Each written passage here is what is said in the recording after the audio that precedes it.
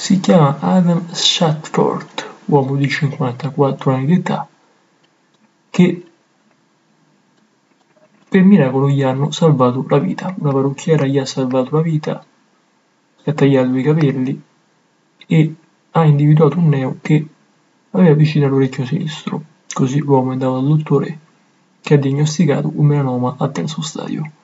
Il 54 anni quindi è stato operato, i chirurghi hanno rimosso anche delle piccole masse dalla sua fronte.